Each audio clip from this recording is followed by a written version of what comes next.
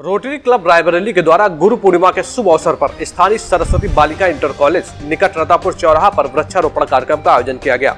इसके कार्यक्रम के अधिकारी संजय जीवनानी व कार्यक्रम संयोजक राकेश कक्कड़ रहे। कार्यक्रम का शुभारंभ सरस्वती बालिका इंटर कॉलेज की प्रधानाचार्य श्रीमती निधि द्विवेदी व रोटरी अध्यक्ष ऋषि अग्रवाल द्वारा वृक्षारोपण करके किया गया।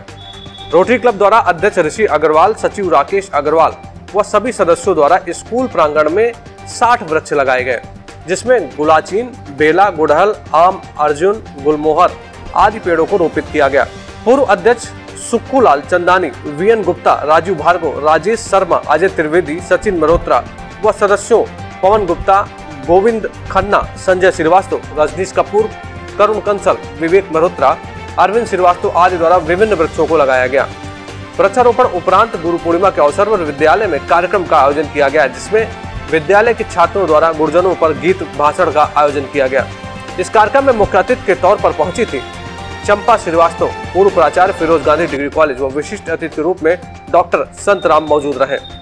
बच्चों को द्वारा उनको आशीर्वचन भी दिया गया व विद्यालय द्वारा कराए गए ऑनलाइन प्रतियोगिताओं के विभिन्न पुरस्कार भी वितरित किए गए।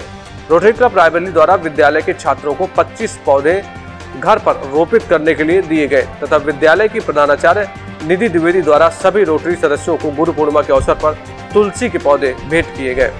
रोटरी क्लब द्वारा मुख्य अतिथि चंपा श्रीवास्तव तथा संत राम तथा विद्यालय के प्रधानाचार्य निधि द्विवेदी को स्मृति चिन्ह व पौधा देकर सम्मानित किया गया। कार्यक्रम का संचालन समापन संजय के द्वारा किया गया। हम आपको बताएँ कि रोटरी क्लब के अध्यक्ष ऋषि अग्रवाल के कार्यकाल संभालते ही लगातार कई वृहद कार्यक्रमों के आयोजन किए जा रहे हैं और किस तरह से रोटरी क्लब को और आगे बढ़ाना, इसके लिए लगातार किया जा रहा प्रयास। एस सेवन के लिए अनुपम मिश्रा की रिपोर्ट।